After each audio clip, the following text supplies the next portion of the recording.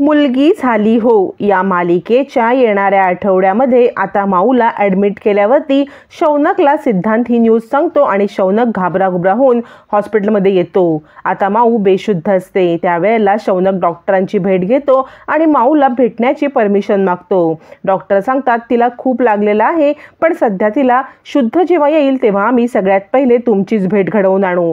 आणि शौनक रात्रंदिवस बाहेर उभा राहतो. डॉक्टर त्याला घरी जायला सांगतात पण शौनक कुणाचंही ऐकत नाही. त्याला आता माऊशी असं वागल्याचा खूप मोठा पश्चाताप होतो.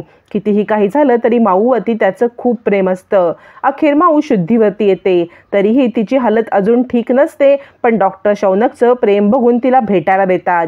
त्यावेळेला शौनक आणि माऊची भेट होते. शौनक म्हणतो काय झालं? तुझा ॲक्सिडेंट कसा झाला? माऊ सांगते मला खरंच काही माहीत नाही. मी तर आता कोर्टामध्ये साक्ष पण देऊ शकत नाही. त्यावेळेला शौनकला क्लिक होतं की माऊने कोर्टात साक्ष न देणं यासाठी सुद्धा हे सगळं करण्यात आलेलं असेल आणि हे दिव्या आणि राजांचं कारस्थान असू शकतं.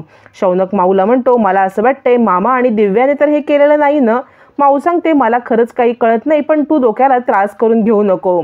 शौनक म्हणतो नाही. याच्यामध्ये जर मामाचा एवढासा जरी हात असेल किंवा मामाने किंवा दिव्याने काही केलेलं असेल ते मी शोधून काढणार आणि तुला न्याय मिळवून देणार. आता मात्र मामा आणि दिव्या यांना मी सोडणार नाही. तुला जो कोणी त्रास देईल त्याला मी अजिबात सोडणार नाही आणि तुला न्याय मिळवून देईल. आणि तू एक लक्षात ठेव विलास काकांना सुद्धा निर्दोष सुटका होणार आहे त्याचं तू टेन्शन घेऊ नकोस. आणि मी तुझ्याशी आत्तापर्यंत जे काही वागलो त्यासाठी मला माफ कर. असं म्हणून तो माऊची माफी मागतो. माऊ त्याला माफी मागू नको असं सांगत असते. आणि आता शौनक आणि माऊ पुन्हा एकदा एकत्र आलेत. आता शौनक राजन दिव्याला कसा धडा शिकवणार हे पाहणं फारच रंजक ठरणार आहे.